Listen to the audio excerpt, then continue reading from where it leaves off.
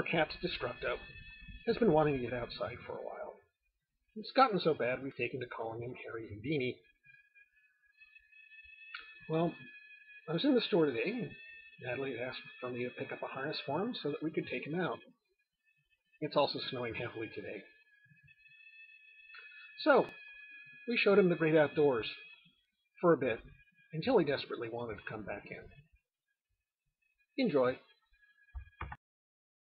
And in this episode of Absolutely Feudal Stuff You Do, I have the cat on a harness and I am taking him out for a walk. Yes, go ahead, look. See, I've got you on a harness.